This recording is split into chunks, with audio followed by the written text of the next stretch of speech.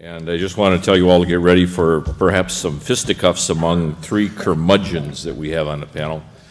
Uh, we started out with a, a rather raucous uh, discussion uh, based on something that uh, uh, Clark Hoyt, the public editor of the New York Times, uh, wrote, published April 11th, if you're interested in tracking it down. It's called The Danger of Always Being On and it speaks to this new environment of new platforms and uh, the fetish for speed uh, that the profession of journalism has always been involved uh, with.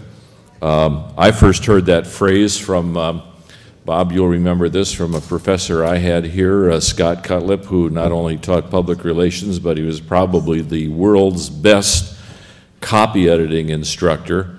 Uh, people would go into his copy editing labs and break out in a cold sweat thinking they had made an error. And that's the first time that I ever heard the phrase, if your mother tells you she loves you, check it out. So has, um, has there been a change in verification? We're not sure, uh, but we've sure got some interesting uh, uh perspectives on it. Uh, you know, we can go back to the, to the war of the world's television program when the United States was panicked thinking Martians were, were coming. Uh, we can go back to the days of yellow journalism when the uh, American public thought that the Spanish had indeed mined uh, the battleship Maine in uh, Havana Harbor.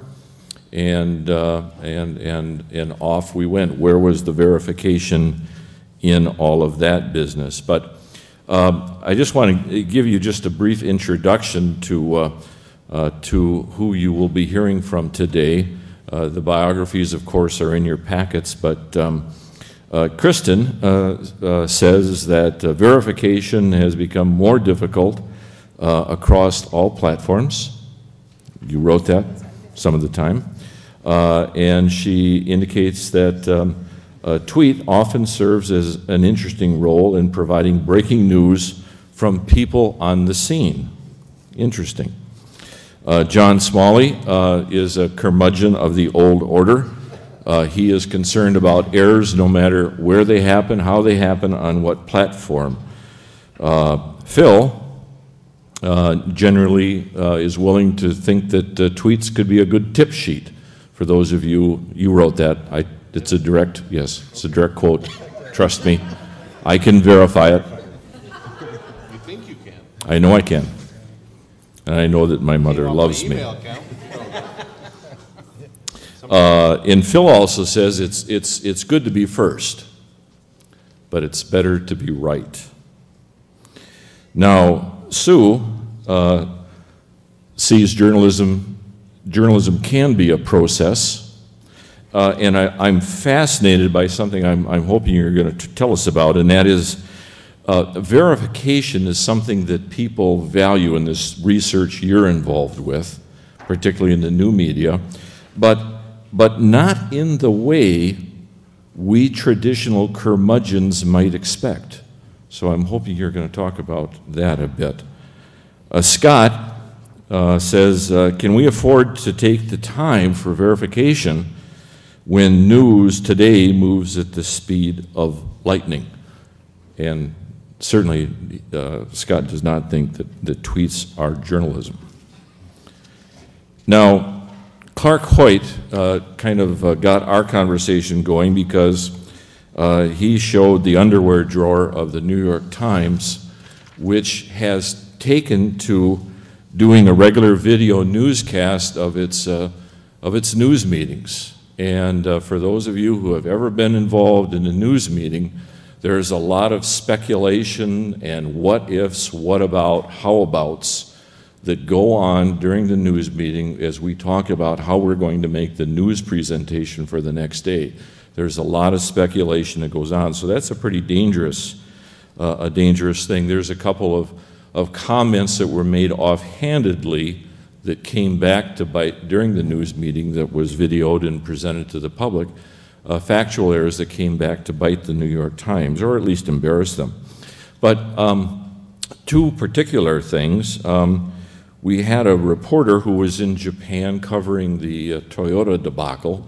Uh, she was frustrated with how Toyota was uh, not putting out information, and in a tweet, uh, she told her tweet followers, Toyota sucks, uh, which caused some embarrassment. And then, uh, showing that April Fool's Day is nothing to be trifled with, uh, we had uh, uh, one New York Times uh, reporter, David Goodman, who fell for a, uh, a prankster who said that he had been declared the official White House blogger. Uh, and then another reporter by the name of Andy Newman thought that he had a trustworthy source. He thought he had a trustworthy source. So uh, he published an item about a street theater group, about a thousand of them that would be traveling the New York subway system on uh, April 1st, uh, naked from the waist down. That did not happen. So we started looking at these things and talking about them and uh, got a little conversation going among ourselves. But what I would like to do is to, is to start off, and uh, we'll start with Kristin, uh, because you know the first question I'm going to ask. Uh, why, why in the world would a conference on ethics in journalism include such a bedrock, bedrock subject to journalism as verification? And uh, following up on that, too, then, uh, Kristin, if you'd talk a little bit about is there, do you think, if in your experience, is there less effort being given to verification in this so called era of new journalism? And if so, give examples from your experience. And Scott, if you'd share the mic, that'd be great. Well, the first thing when I got invited to do this panel, and I heard the title was Whatever Happened to Verification in Journalism, my thought was something happened to it. Um, because I, in my daily life, I guess I don't experience necessarily a huge problem with verifying things. I mean, it's something that I've taken as a basic of oh, closer. Is that better? I don't know what I did. Hold that thought, Chris. Help. Hold that thought. Sorry about that. I hope you don't have any embarrassing pictures here. Okay. There we go. Okay, so um, I guess I, I mean, I, it's just something that I do as part of my job is I verify information, and to some degree, I think that there may be a perception that there are verification issues because mistakes are more prominent in some ways online versus the old way of acknowledging mistakes in like a print newspaper would be a quick page two, we regret the error that some people might not even read and be aware of the mistakes. So I think there is a more awareness of the mistakes that are out there now, but I'm not sure that there's necessarily more of them. That being said, I think there are some pressures with new media and technology and the internet in the sense that um, there's a 24 hour news cycle with cable news, 24 hours online, and I think that does add some pressures to getting things out first. And I guess one example from my daily life, which was really small, but it was something that had struck me before I was invited to do this, was a couple weeks ago there was a big story in Madison. I'm the city government reporter for the Capital Times, and there was a big story about the Central Library. Um, there was some talk, I think, on a Tuesday that the new Central Library might not be happening, but there was going to be an additional negotiation between the developer and the city on a Thursday. And on that Thursday, when I was at work doing something else, I saw a tweet from another journalist from um, one of the TV news stations saying basically the deal was dead, the city's moving on with.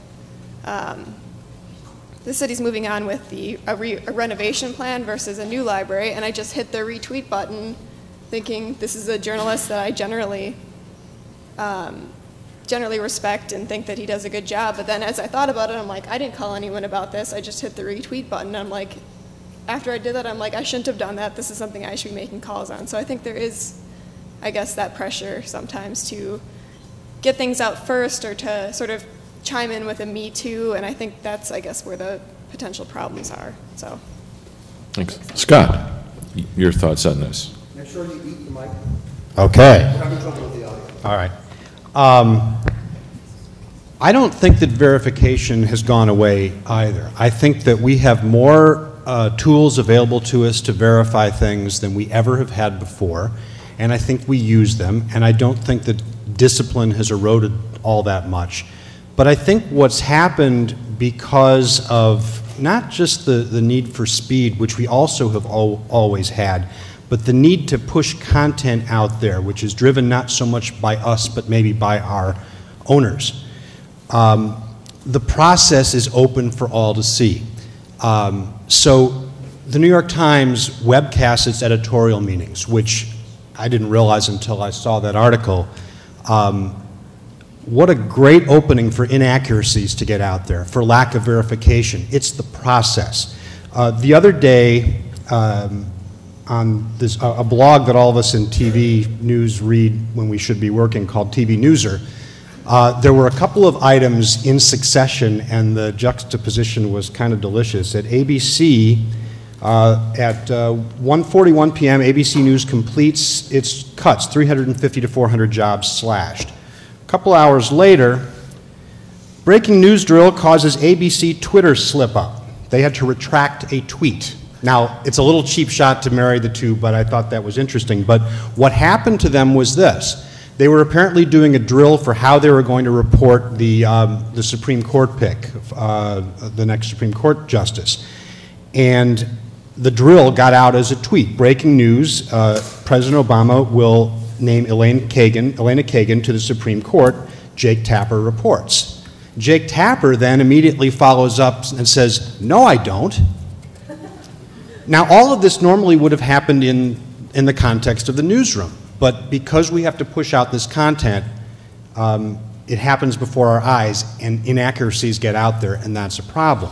Um, an interesting thing that happened to me a couple of weeks ago, and then I'll, I'll, I'll pass this on. Um, as you'll remember, there was an incident where um, uh, the Qatari diplomat was flying from Washington to Denver. Um, they thought that he was going to be a shoe bomber, and of course, alerts went out to every plane in the sky, and one of which I happened to be on. Um, I was flying from Dallas to Newark, and um, we couldn't you know, use our phones or anything as we, we were informed of all of this, but of course, be, being, you know, wanting to get the, story, the news out there, wanting to do something, as we all have felt, that great adrenaline rush that's one of the reasons a lot of us do this. Um, as soon as we landed, I, as soon as they let me, I took out my Blackberry, and luckily I didn't tweet this because what I, what I told the desk, hoping they would verify it, was, uh, and if I had tweeted it, it would have been something like, on flight from, uh, from uh, DFW to EWR, pilot says there have been two hijackings, um, and we have to keep everything in our laps, otherwise, off of our laps, otherwise they'll divert the flight. I mean, clearly that's not what happened, and clearly if I had tweeted that, it would have been accurate, but it would have been wrong. I mean, it was accurate in that the pilot said it, but it would have been wrong. It set off enough of a panic on my own desk and on the NBC News desk. Think of what would happen if that had gotten out there. Um, so I would just encourage everybody, and particularly young journalists, um, avoid the temptation to just put the process out there. There's a lot of satisfaction in finding the facts, verifying them, and then reporting them. And I will say here and now, and I'm happy to debate this, tweets are not journalism.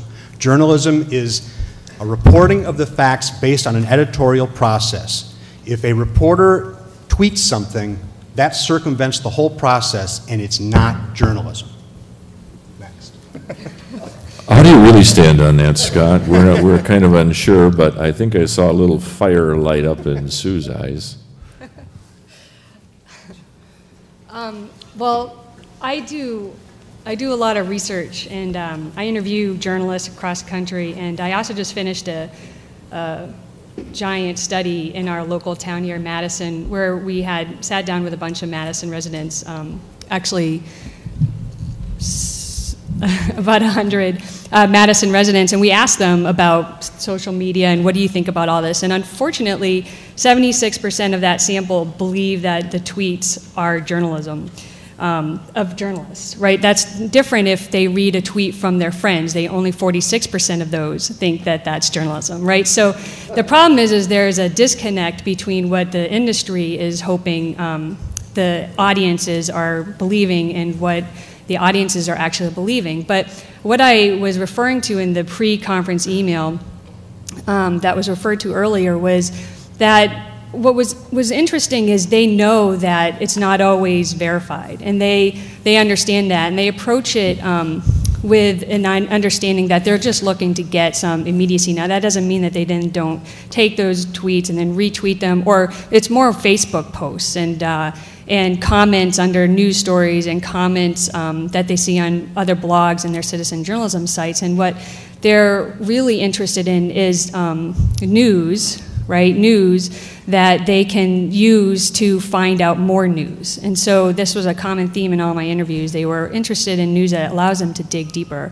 And I was going to read this quote from one of them, and it was um, from one of these citizens, which I, which was a dominant theme. And uh, these citizens were older, younger, um, middle class, lower class. They were the superintendent uh, to people who were completely disengaged from news. So we did a stratified sample of the entire community. And this one um, said, I will look at the news and it is a very basic story, not really expanding talk to the problems of our town. I feel like there is a lack of participation. It all feels so unfinished. So I figure I can at least take my base knowledge and put it up against what I read online and then look around and start making a comparison. That's why I go to blogs. So when I say that um, they're still interested in verification, but they're taking on more responsibility and more willingness to do that work themselves, which I found was a very startling finding to me because, especially the people that I was inter interviewing, I figured they'd be a lot more traditional in that. And so um, I wanted to mention that, and I'll just throw one other statistic out there, which is a national statistic but was um, backed up and um, mirrored by, my, by the local sample, which is that uh, almost 40 percent of these residents, and nationally this is true for Americans, have contributed in some ways to news creation. So I, as, as, I mentioned in the pre-conference emails, um, I am starting to think about tweeting and Facebook posts and sharing of emails and commenting and all that as being part of a very public news gathering process that now citizens are part of.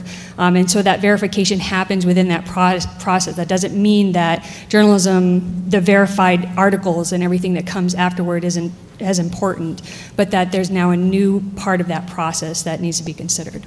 So, Sue, if, um, if there is concern about tweets being a valid news medium, and let's use the traditional value of news medium, are, are news organizations um, uh, sticking their own fingers in their own eyes by the, by the promotion of tweeting and Facebook and all these social media activities? Uh, are we diminishing our own uh, traditional news product by that? What is your research? Uh, any thoughts on it? Does your research touch this at all? Def definitely. Um, actually, and this is what I teach in my classes, I feel like if journalists are not in these spaces, they exclude themselves from the conversation. And I feel like journalists are the ones who have the training and understanding about um, primary sources, um, true research, that they can step into those spaces and provide some kind of um, a, you know, verification process within those spaces, but they need to be present and they need to be using them in the ways that their audiences are using them. And they're not right now. John, uh, has there ever been a, a, an error in the Wisconsin State Journal? Funny you should mention that, Pete. Actually, I, I meant today, and I, I, forgot as I was coming to the to the Fluno today. I, I meant to bring along a, a, copy of my newspaper from this morning, and, and I wish I had it. Well, imagine if this is me holding up my, my paper for today. I think we got one. Yeah, well, imagine it's right here in my hand, and I would probably say as much as I hate to, to tell you this, there, there's probably an error in here today. There, there's probably a mistake in here today. Uh, and, and, I don't know where it is, and, and I hope that there isn't, but, uh, and we, we do our best every day, all day long to make sure that there isn't, but I can probably say with some certainty there is a mistake in here somewhere. Uh, and a, long time ago, I, I, heard a fellow talk at a conference who said that uh, any newspaper that doesn't run a pretty uh, regular and, and hefty list of corrections on page two or wherever they uh, appear in a, in a newspaper is, isn't A, being honest with themselves and their audience, or, or B, just isn't paying attention. Uh, It's a, it's a lot of humans working on a, on a complicated process every day, and there is human error and there are mistakes that occur uh, despite all of our, our really uh, genuine best efforts to, to prohibit that, but it, but it does happen. I wanted to, to go to a couple things, if I could, just quickly. And the first one, I was actually going to save this uh, till the end. It was going to be my big close, but I'm going to go to it right away now because it, it speaks to Peter's question of why at a conference uh, like this is the topic of, of uh, verification and, and that sort of thing even on the agenda. And what I have here, and I, I hope you would indulge me uh, just for a second, I have it's the spring issue. Uh, many of you are probably familiar with this. Uh, I hope so, anyway. It's the spring issue of the Wisconsin uh, People and Ideas uh, magazine put out by the Academy of Science and Letters. And it's a wonderful, wonderful magazine that I enjoy a lot, and I, I think it's a great piece of work. And I, I'm not bringing it up today to, to bash them in any way, but, and I hope that you all read it and enjoy it as much as I do. But it just so happened, just the other day, uh, coincidentally, I was reading uh, the, the editor's notes, the intro column, by the editor of the, of the publication, and it just absolutely sort of did to me what the uh, tweets aren't journalism uh, uh, thing does to Scott. And the editor is, is writing about how, uh, again, the, the title of the piece was Tweeting for Content. It really wasn't about necessarily tweets, but it was them trying to describe their mission, the Academy's mission, in a, in a 140 character uh, synopsis, and that's where the tweet reference comes from. But he, anyway, he wrote that he was talking with a friend of his who works for the Boston Globe and that they went on to talk about his job, and this led to a larger conversation on how the print newspaper industry is struggling to compete in a fast paced multimedia environment. This struggle, he noted, is no secret and has much to do with the internet and the rise of nonstop cable news channels. I agreed, pointing to how objective news coverage is suspiciously absent these days, and the fact that journalism jobs are an endangered species.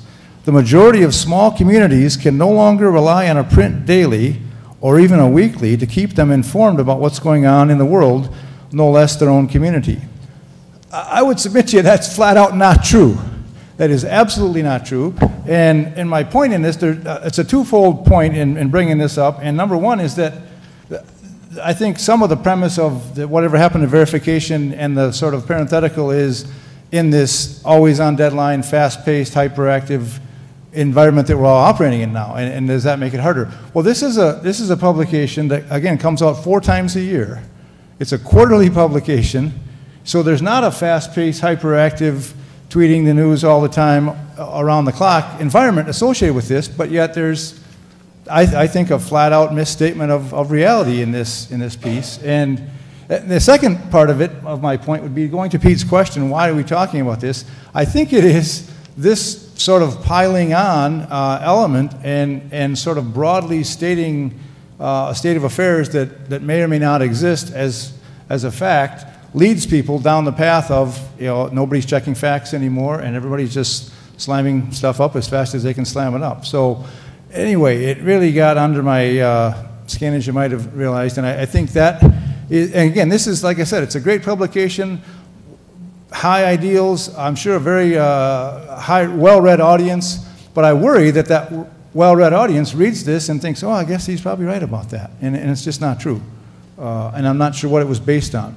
Uh, and I'm endeavoring to track down the author just as soon as I possibly can and have a conversation, hopefully over lunch with him about that. Uh, uh, the other thing I wanted to mention, and then I'll, I'll uh, turn it over to, to Phil, in preparation for, again, for the conversation today, I have been talking with people in my newsroom about this and then also reached out to a couple of colleagues uh, around the company in, in, Lee Enterprises. And one of them is a fellow named Mitch Pugh, who's the editor at the Sioux City Journal in Sioux City, Iowa. And Mitch was very recently involved, and his newspaper was involved in a APME, the Associated Press Managing Editors Association. They did a, a project on ethics and credibility of breaking news online. Uh, again, I think speaking a lot to some of the issues that we're talking about. And in the end, they, they uh, engaged uh, a lot of citizens and, and community leaders for discussions about what the expectations are and, and uh, how to go about doing that in a responsible, reasonable way.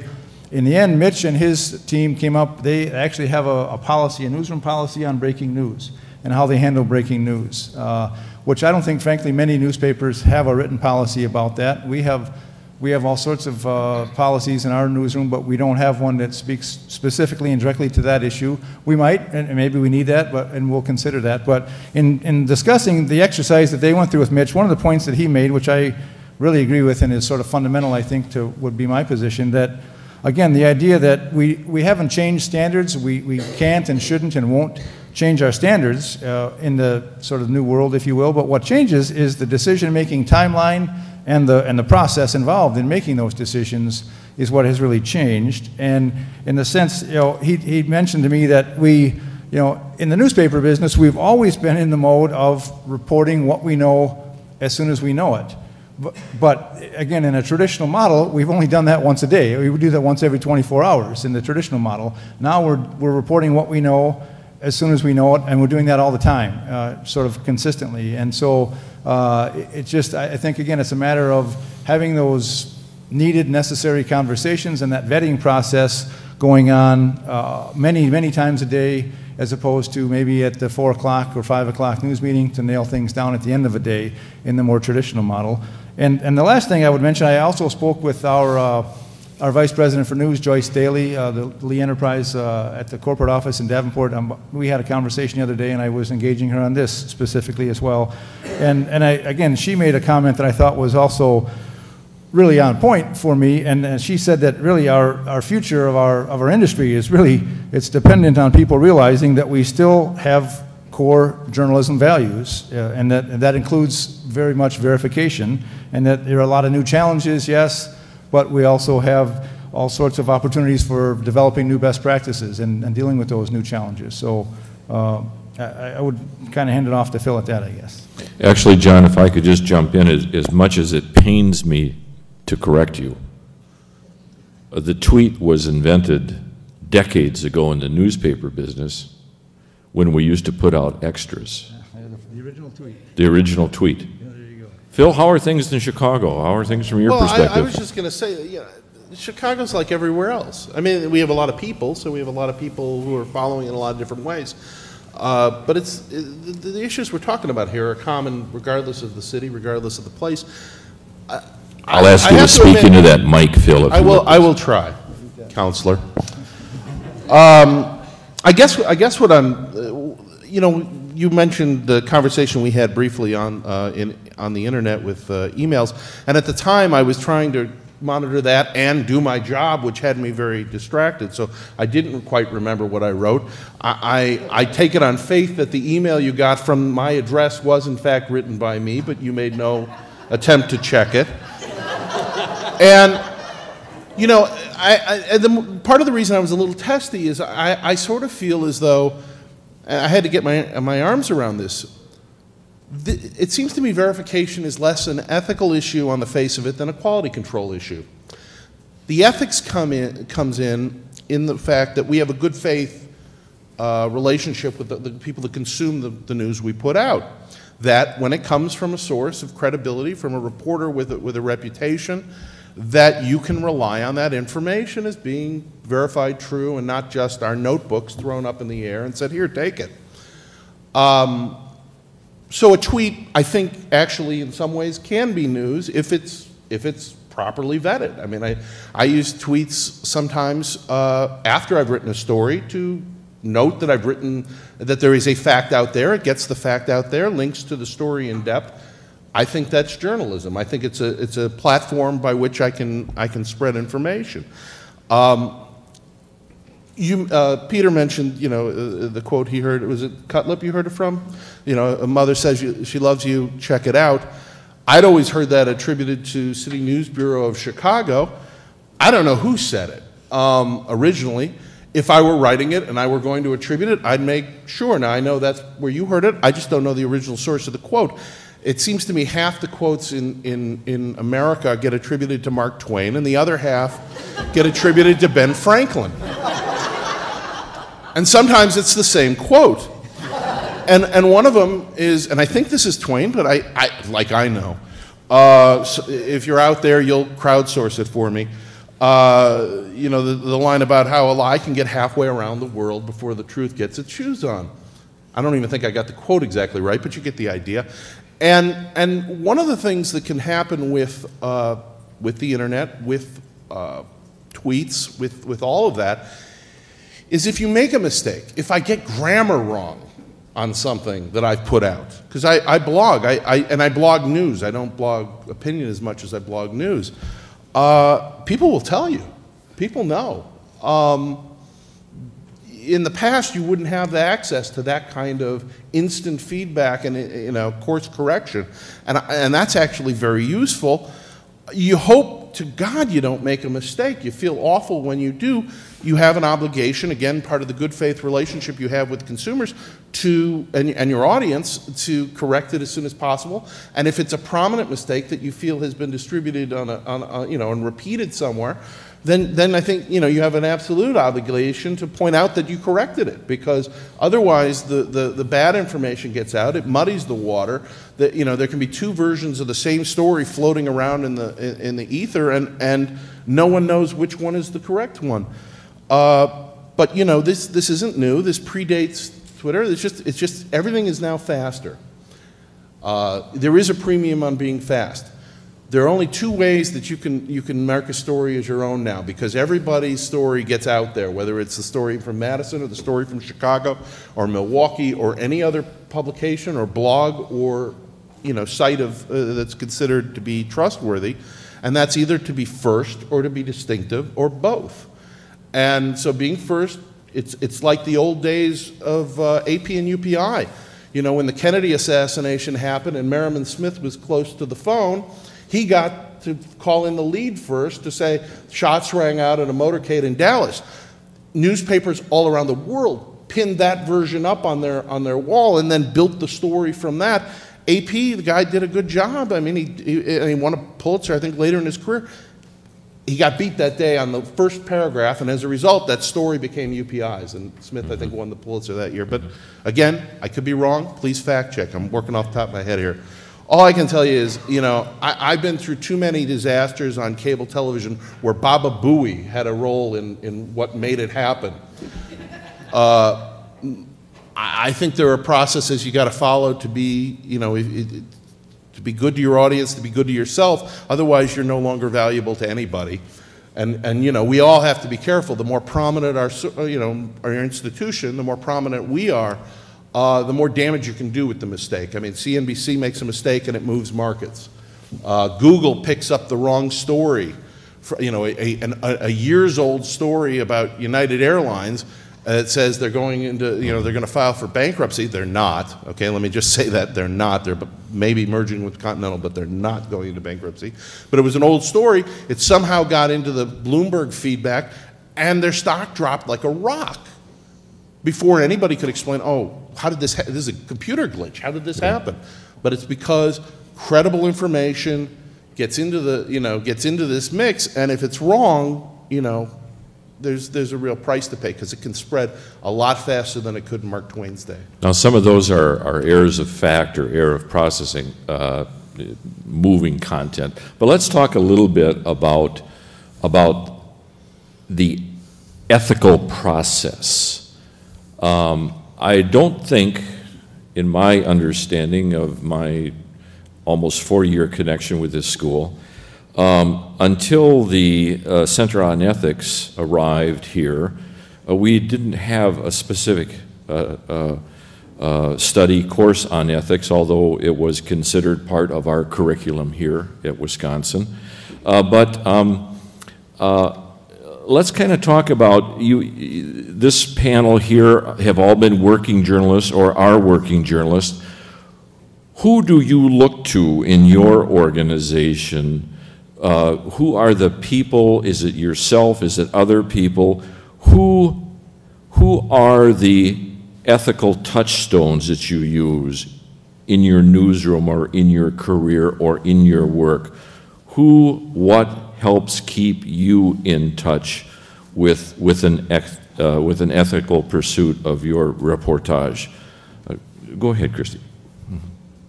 Um, I guess I don't have a really interesting answer. My ethical touchstones are my editors, as well as um, more experienced journalists that I work with. I mean, I conference with them regularly about issues that I have and stories that I reported. So. Yeah, I don't, I don't know that I have a much more interesting answer than that. I mean, uh, I I have a, a managing editor, uh, relatively new with our organization, but there was one, there always has been one, you know, that, that is, is good for bouncing that sort of stuff off of. Some of it is your own discipline that you develop over time. Um, things I learned here, things that you you just learn over time about, um, you know, instincts about uh, about verification, about, you know, reporting what you know and so on.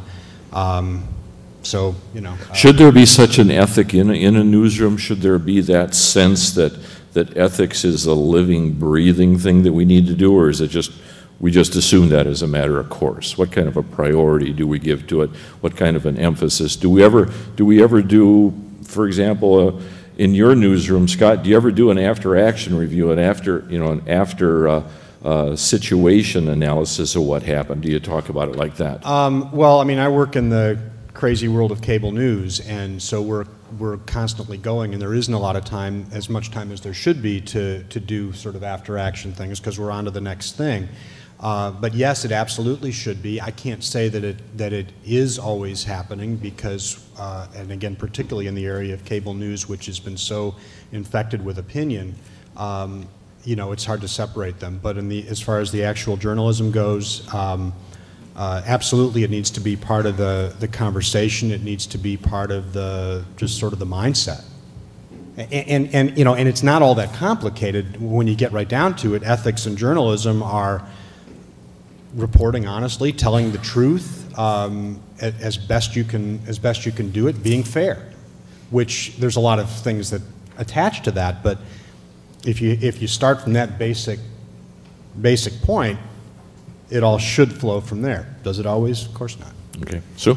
I, um, I guess I would like to throw in another player here, which is the audience. And uh, in thinking about the audience as the ethical touchstone, as much as our colleagues and uh, media watchers and uh, the academics and whatnot. And, uh, and so, um, because when, when I talk to people, they, you know, they do consider tweets from journalists uh, journalism, but, but what they mean by journalism is different from what they think about in terms of a news article, right? They think about a news article as being, you know, having these sources, and they think of that as very credible. And, um, but their expectations of Facebook posts and comments and tweets are all different than what they are when they approach a news article. And I think um, we need to start thinking about audience expectations in terms of what do the audiences want those standards to be in those realms um, as much as what does the industry want the audience to want, uh, basically. And uh, the other thing that I um, might mention is Dan Gillmor. I don't know if you guys know him. He, he came out with that We the Media book a few years back, and he's come out with a couple books since. Um, he's now at ASU. Um, he used to be over at San Jose Mercury News as a columnist, and he's coming out with a third book now. It's called Mediactive, and in that book, he's going to propose a credibility scale, and he's talking about it from the citizen's perspective, right? I mean, that we need to start teaching media literacy at a fairly fundamental level, in the elementary schools, in the junior highs, and understanding what is a tweet and what is Facebook post and what is all of that. And I think the audience has an ethical obligation at this point too, as much as journalists do, to understand what kind of medium are we talking about in terms of the values associated with that medium. So I just put that out there. I thought the credibility scale was really kind of interesting. John? You know, and I, I had lunch with, uh, with Stephen a while ago when, as, a- when we first came to, to meet each other, and, and we talked about how, again, in a typical newsroom, the, the ethical dilemmas, uh, again, they just, they don't ever stop coming. I mean, every day, we're, we're faced with them, and again, if I could quickly uh, relate a story, I mean, literally, yesterday and today, in my newsroom, we- we've been bound up in a very difficult situation, and I was actually thinking of it when, when John was doing his uh, sharing on, on that uh, terribly difficult thing that, that they went through. But it, this is a sort of a much smaller scale than that. But a local story, and I'll, I'll, I'll give a promo and a, and a quick advertisement for our Sunday newspaper. Big package on heroin uh, and, heroin abuse and, and the plague of heroin in, in our community over the recent years and, and what a uh, literal killer it has become. And over the weeks and weeks of reporting, one of our, uh, one of our reporters has been dealing with a, a number of sources, one of which is a, uh, a heroin addict who goes to a clinic and gets methadone all the time. We, we went to the clinic. We had permission from the clinic to go to the clinic, talk to people, shoot, shoot photographs, but, but not identify anybody by full name or by face uh, in photographs. And uh, we did that. In the process of doing that, we come to know one of the women who's there who says, oh, I don't mind if you use my name, and I don't mind if you show my photograph. I want to tell my story. So we work with her further. We go to her home and we, we photograph her, uh, and, and, and the photographer and the reporter collaborate to create a wonderful, probably three or three and a half minute, maybe, uh, uh, audio visual slideshow for the, for the web that uh, you know, has her narrating her story with photographs and, and video clips. And meanwhile, the uh, counselor at the, uh, at the clinic is very worried that this woman's unduly exposing herself and, and, and going to put herself at risk and all sorts of other concerns and works with us, tries to you know, convince us to back off. We work with the. Long story short, today, the, the heroin addict, the woman, uh, tells us that she's thinking now that she doesn't want to use her, her picture and doesn't want to have her face shown. And so, but yesterday we're having a discussion how do we make these decisions before she'd come to that conclusion? We're dealing with do we honor the request of the drug counselor who says you shouldn't do this, or this 22 year old woman who says she's fine if we do it? Uh, and what, what degree of sound mind is she in at that point in making that decision? And we talked literally yesterday about Bob Steele and the Poynter Institute's guiding principles, which are you know, boiled down to three very uh, simple but very deep uh, concepts. You know, number one, seek the truth. Number two, remain independent. And number three, minimize harm. And, and we talked about that yesterday. And again, the, the unfortunate circumstance we often find ourselves in, seeking the truth and minimizing harm, are often like this. It, it's, it's very difficult to have one without the other at times. And so that's the, the corral that we, uh, that we bounce around in. Very good. Uh, Get ready for your questions after Phil's comments. Uh, We'll turn to uh, the social media team and to, and to you in the audience here and, and uh, take your questions. So Phil, over to you. I'm just imagining the tweet from what he just said. State Journal editor says, big package, heroin, coming Sunday. Um, well, I, I mean, that's how it happens, you know? Yeah. You're, you're, cutting, you're cutting words out to make it fit 140 characters, and the critical, the critical uh, two-letter word gets knocked out. Um, you know, I I think ethics come from you. I think ethics come from within you. You have a core set of values. An institution has a core set of values. So long as you know you understand them, I think it's important.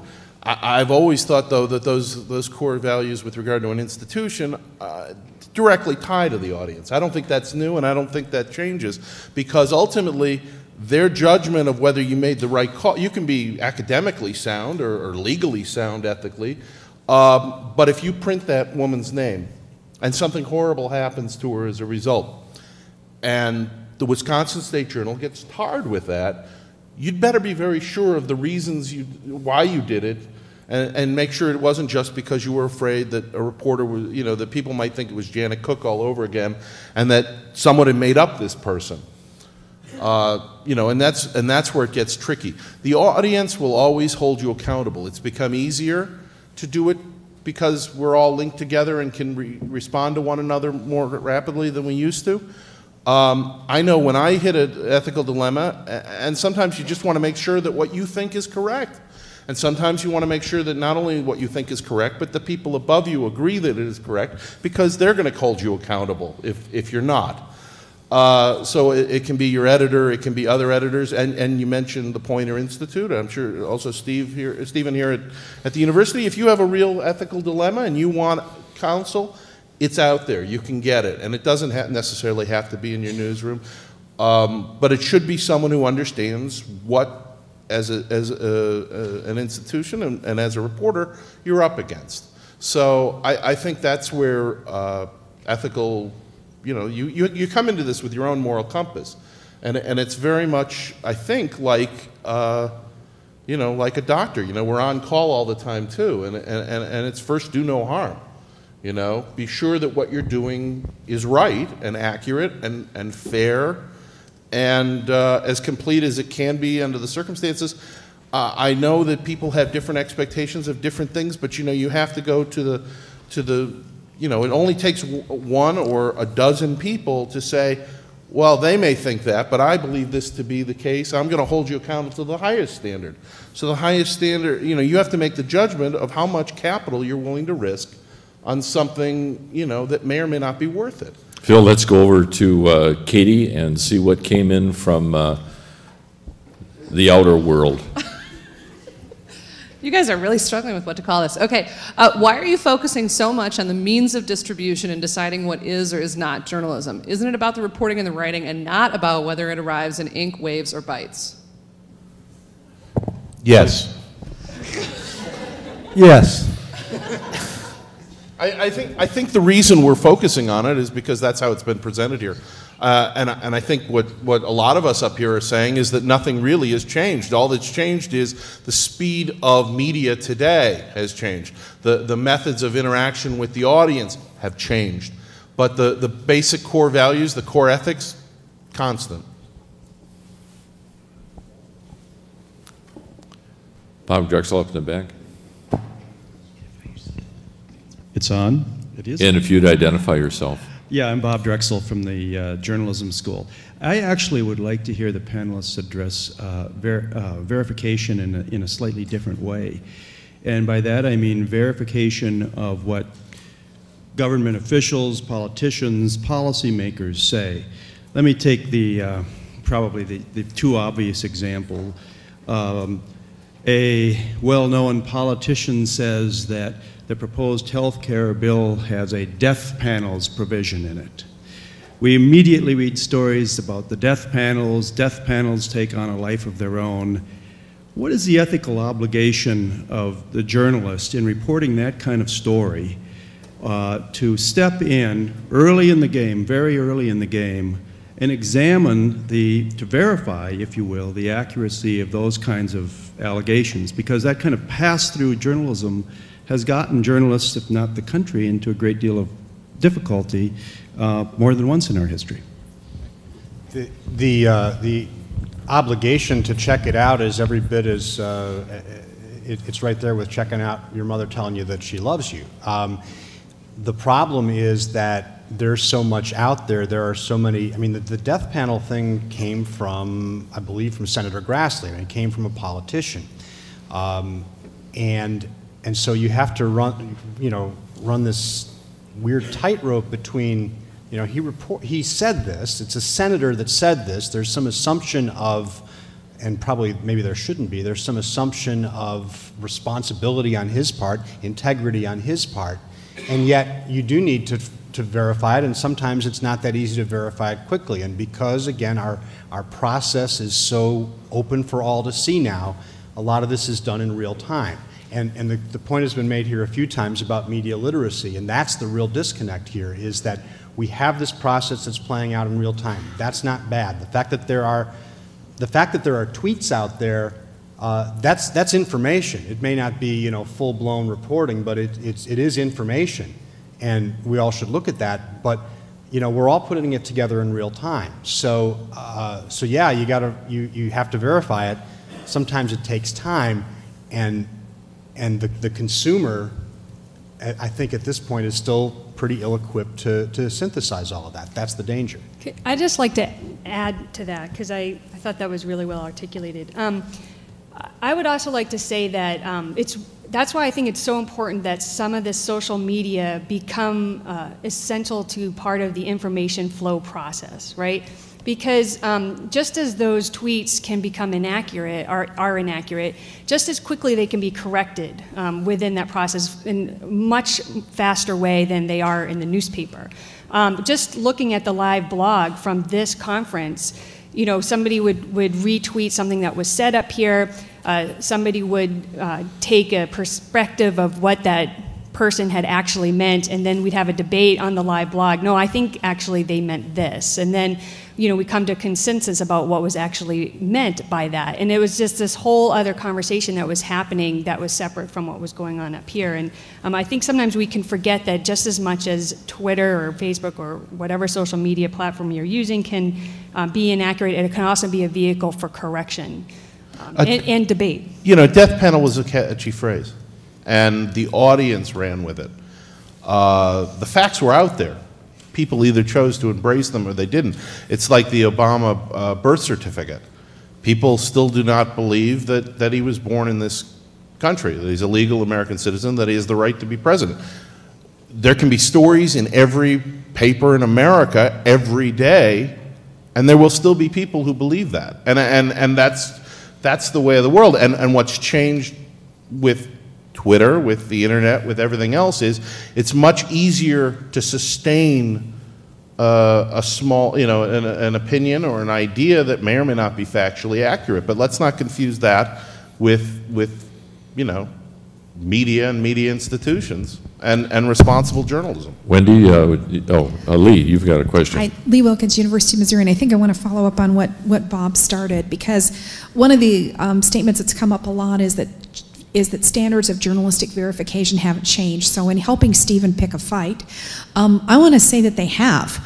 Uh, and I think they've, they've changed on, on both ends of the continuum. So I'm going to go back to the, the uh, case study from earlier. Um, when I was a journalist, which admittedly was shortly after the dinosaurs died out, um, if I had been covering a police story about a murder where the family agreed that something had happened, the local authorities agreed that something had happened, um, uh, you know, witnesses agreed that something had happened, that would have been enough for me to go with this story. I would not have felt compelled to seek a photograph. But I think one of the reasons that we do get compelled to do that sort of thing is because, on the one hand, we want a standard of verification that almost will hold up in court.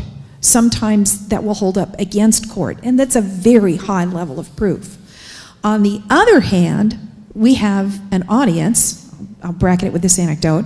Um, I was at a public meeting the other day. College educated woman said the following I never watch the news, it's all bad. If there's something that I really need to know, my friends will tell me on Facebook. Um, and I was thunderstruck. So I, I guess I'd like to, to get you all to respond. What is the level? You say there's a level of verification that hasn't changed. Please tell me what that is because I'm confused. Let me jump in on that one. I had one anecdote that I wanted to share, and maybe it, I, I think it's illustrative uh, of where I think and, and hope that, that my news, newsroom is at. And believe me, I, I could share a, a, a bunch of other stories, quite frankly, where again we where we, we biffed it and, and we didn't do our due diligence and we, and we put something in the paper, again, hopefully not today's, but we put something in the paper that was not accurate. But here was an example of, and I think it gets to your point and gets to the point of what hasn't changed, and it, it touches a little bit on the politician thing as well. Uh, again, in, in uh, grilling my city editor, uh, Phil Brinkman, for some examples of what we do and, and what's worked and what hasn't worked. He shared this one with me. It's a familiar story for everybody in Wisconsin. And he said, uh, when we got an email from Barbara Lawton's campaign last winter that she was dropping out of the gubernatorial race, we held off posting that breaking news until we could confirm that it wasn't a spoof, since it seemed like it was so out of the blue. As a consequence, we were beat by WisPolitics and by the Journal Sentinel, probably by my friend Bill Lueders up there at, at Isthmus, and, and maybe everybody in town. Uh, Phil continues on, even though we could see the return address on the email, speaking to, to Phil's earlier uh, point, uh, only partially in jest, uh, Phil, our city editor, was concerned that there was too easy, it was too easy to fabricate. So he insisted that we speak with a reliable source first. As he recalled, it took more than an hour to confirm that. And meanwhile, again, it's up on everybody else's uh, website before that. And again, not saying that we always do that, and not saying that we haven't made mistakes and we haven't uh, leaped when we shouldn't have leaped, but I think that's a good example that uh, gets to that point of what hasn't changed is, again, not accepting at face value, and again, in the new technology, understanding that it is easy to get spoofed, and, uh, and, and we're just exceptionally careful. Anybody want to jump in quickly before Wendy takes the question over Yeah, here? I, ju- I just want to add on the verification Oh, thing, I, that okay. Oh, what hasn't changed. I don't think that what you're describing is that different from the way it's always been. You want to seek the highest level of, of proof you can, and then you, pu- you make a judgment whether you have enough, and you publish on the basis of that. If you have all those people on the record, you'll go with it. And the picture would help, because if there are any questions about what happened, it would be nice to have that to be able to hold up and say, well, we didn't necessarily publish it, but we do have this photo. It's just, it's just one more bit of documentation. And as for the other person, there have always been people who didn't keep particularly well informed, and that's not changed. And the only thing that's changed in any of this is that we're all more aware of it because we're all linked together more, you know, intricately and more, uh, you know, quickly.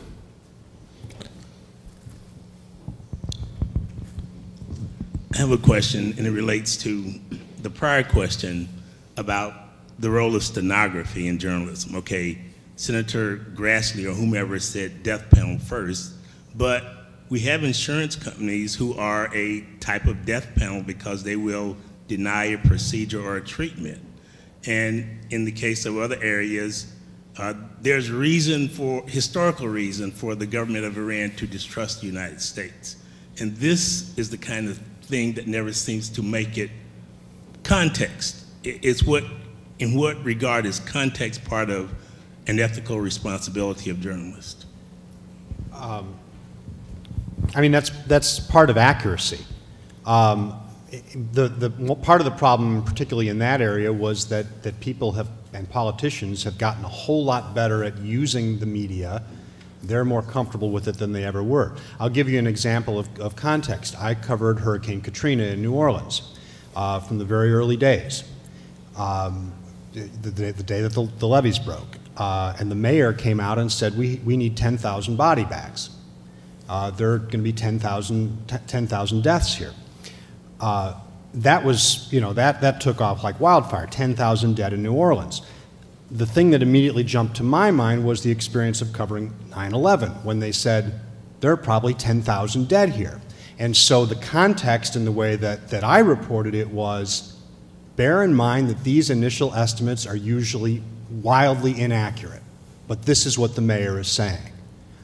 It turned out that what the mayor was saying was inaccurate, you know, and there was a piece of information that was out there. But yeah, context, context is huge, and it gets really tough in an unfolding situation, but it doesn't mean it's impossible to, to get it in there. I sense there's some additional questions out there. We're now moving into the tight, telegraphic, and terse responses to questions to move along. Wendy? Yeah, Steve Berry with the Iowa Center for Public Affairs Journalism. I've heard a couple of times that uh, um, from the panel say that the um, the verification standards have not changed. That it's just that the process has. Um, I teach journalism, and one of my favorite teaching tools is to take a website news report and put it up on the screen, and we analyze it, and then we put a printed version of the same story up, and we analyze it and compare the accuracy. So obviously, there's two different processes going there. The, the website story is almost always not as accurate as the printed version. So my question to you is, can you really honestly say that the verification standards have not changed, just that the process has? Doesn't the process eventually infect the verification standards that we hold dear and true?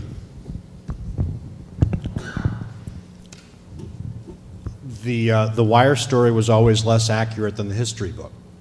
I mean, there, there's, there's just, the process has speeded up. I don't, I, I agree. I don't think that the, the verification standards have changed. It's just that more of that process, as I keep saying, more of that process is out there. I would, I would concur. I, I think the issue to me, I would suggest is it, it's less about the accuracy on a, on a straight up factual basis of the web story, but the completeness of, of the web story is always going to be lacking uh, than is the print version the next day because there's another 12 hours of reporting that goes into that, that print story the next day. And that, that web story, uh, what we're trying to do is unfold web stories, again, as, as we can over the course of the day. And, and a, a story that's up on our website at 8 o'clock at night, you know, might be the 14th version of that story uh, that's, that broke at 8 in the morning. And uh, so at any point where you put your finger on it and say, well, this isn't accurate, you know, again, if there are flat out factual errors in that, I would, you know, I- that's absolutely uh, worth calling out and saying that's not right. And, but I don't think that's the case that happens most of the time. I think it is, it is simply the, the completeness isn't there because the process, again, of, of the reporting process hasn't fully played out yet. Yeah, I mean, the comparison I would make is the, the wire story first lead and the first, the 14th lead right through. Uh, and sometimes, though, I, I would also say from my own experience, the web version ends up being much longer and more complete in a lot of cases because there's a limitless space and to address things. The, the difference being that the, the print product tends to be a little more polished. Uh, that, that's going to happen because more people get their hands on it. It's a different, that's a different product, but the, but the actual facts, uh, again, speaking for myself, you know, if there are mistakes, we fix them. We fix them as soon as we can. And if it's something that, that's significant, we point out that we fixed it. So, got- I don't know. Sorry, Phil, we've got two questions in the queue. I just want to add one thing, though, um, which is why not think about the news article, and depending on which platform it is, from a verification continuum, just as uh, Gillmor's talking about a credibility skill for audiences, you know. So just as the history book has a verification over here, the tweet has a verification over here, and in its place comes transparency as a priority standard, as opposed to, and then that we move as we get to um, uh, the website article and then to the news article. I mean, I think that's sort of where we're going. Um, it's just a matter of getting everybody on the same page. I just want to jump in though, and I think there's actually a little bit of a conflict in that when you talk about the credibility scale and being transparent that you're not, your tweets might not always be as accurate as your stories, but then if you're acknowledging that and you're setting a lower standard for your tweets, doesn't that also compromise your credibility as a reporter? That you're saying, I'm not going to verify this I I don't, would I a don't think you're saying you're not going to verify it. I think you're saying this is what I know at this moment, but it's but this information is what it is right now, and I'm going and I'm continuing to report on it, and I'll continue to update you as I get more information. You I know, mean, I you think know- that's, I mean, you can be more complete, obviously. I mean, I guess I would just hesitate to say, I'm not going to be as accurate. And I mean, you might not have all of the information, but that's different from not being accurate, sort of what John mentioned. You could do that, but then you're letting everybody else have the conversation without you. I mean, and then everybody else is putting forward their inaccurate statements, and at least you're, you know, working the story in a way that other people are just sort of retweeting. But what's to say that, why, why do we have to be saying stuff all the time? I mean, just let them have, you know, let, the, let them have the conversation. Let's, let's wait and get it right. That, that's what I don't get. That's why, you know, I mean, and again, not to disparage anyone who tweets, but that's why I don't want to do it. But, because I, I, I want to, I want to make sure I got it before I say it. Well, and Sue, you know, I, I, I'm all for media literacy. I, I'm a big proponent of it. I think we need to build a curriculum in our schools starting in preschool and work all the way through. But I, at the same time, um, I don't know that I want to see the decision on whether something needs to be accurate or as accurate as possible to the audience. I think the responsibility is on our end to do what we do. That's why we're not, I mean, that's what makes this difference between professionals and, and non-professionals, or, or really, truly, journalists between people, between journalists and people who just write what happens. Right, I completely agree, but why not use social media for part of that process? Put it out there. This is what I'm looking for. Does anyone out there have any information? And more often than not, somebody does. Well, but you, you then have to vet the information. Sure, of and, course. and, and, and that was the question I had with your, your, the ethical thing. There are a lot of things, especially ethical issues, that I don't know that I want to, uh, you know, ex- uh, introduce publicly if, if it can be resolved without doing so. Because, you know, we're responsible for what we print, we're responsible for what we put on the air, we're not responsible for what we don't put in public. I, I once had to give a deposition in a case, and they said, well, well, did this person tell you anything else? And I said, well, what we printed is what we were comfortable with, and that's what we're going to stand by, and the rest of it is just work product. And that's really the, the criteria we're talking about here. I want to say I don't think I, mean, I wasn't trying to say that journalists I don't think shouldn't be involved in social media because I think they should be. I just think that because there's so much information out there and so many people out there with, and voices that are inaccurate who aren't journalists that it's become even more important for your credibility as a journalist to be accurate as a, to be accurate on these forums. I guess. And, one, and using it as a using it as a reporting tool is great. You know, we- we've all, I think, used whether it's Facebook or message boards or whatever to find sources, but using it as a platform, if you don't have it, that's what I'm not comfortable with. Well, if you, if you don't have it, no, but it's a, it's, it is also, though, a good way to get news out. If you have it, there's, and you want to get it out fast and it's interesting, you put it on Twitter, you put it on Facebook, and people pick it up and retweet it and spread it with their own, uh, you know, pushing your link around, and it, it does wonders. It seems that the issue of to tweet or not to tweet is somewhat unresolved as our, as our panel winds down. It, it uh, just uh, uh, underscores the reason why Stephen Ward, in his infinite wisdom, put this topic on the agenda. We never had a doubt, Professor Ward, and uh, we want to say thank you to the panel. Oh, excuse me. We, we, we did have one more. Might- Oh, I beg your Might make pardon. a nice closing Oh, okay. mark for all of you guys. Very good. Okay, it's not the way it has always been. What has changed? For instance, do you see information from press releases getting into news outlets unedited? What are the consequences, the ethical consequences to 40,000 journalism jobs lost? I spoke on a lapelo. Um, I just wanted, To, I mean, I think that's a good question in terms of the job loss, and I think that's, I think that's what, um, I think you were talking about earlier in the question about context, is I think a lot of times the context does get lost. I mean, if you're putting a press release out, even if you acknowledge, hey, I just got this press release in my email, and people know it's a press release, I mean, I don't know, there is just, there is less time for context gathering, and there's less institutional knowledge at a lot of journalism outlets right now, and I think in some ways that does have an effect, even if you're acknowledging that the information is a press release, that there are some issues with that. Yeah, I think it, the question veers off from the, from the peer verification question in- into the larger context, and certainly the industry has been, been diminished, a- and the, again, the, the total amount of, uh, of offers to the, to the audience out there has been reduced by, by losing that many jobs in the industry, but uh, again, I would advocate that that, that doesn't mean that we're, again, shoveling unedited content into the newspaper or onto the website or, or onto mobile uh, or anywhere. I, I think uh, it, it, changes the, uh, the, the overall, uh, again, the volume and, uh, and some of the things that we can do, but it, it doesn't, uh, isn't a given then that that means that we've lost our verification. I, I think it, the, the job losses are, are tragic and, uh, you know, I would never, I, I'm obviously not in favor of them, but at the same time, we're able to do things now technologically with the internet and everything else that it would have taken a team of reporters to do before. Um, it's not as bad as, uh, as it might be. Do press releases, does, does news sometimes get out there unfiltered? Probably more than it should, but it always did. Part of the reason that it gets out there unfiltered is because there's so much unfiltered content getting out there. Um, but it is, as, as you said, the, the issue of uh, you know, having institutional knowledge, putting it in context. We deal with press releases and, and uh, alerts from companies all the time as a financial network. Uh, and the best, you know, sometimes you have to report it as is, but you, you need to have the context and put it in context and to put it in perspective. So.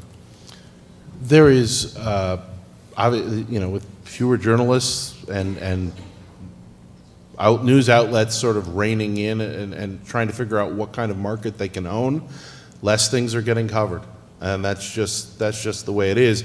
You'd like to think that the things are still, that are still getting covered are getting covered well, but, you know, that was, that's always sort of a hit or miss thing on a human basis.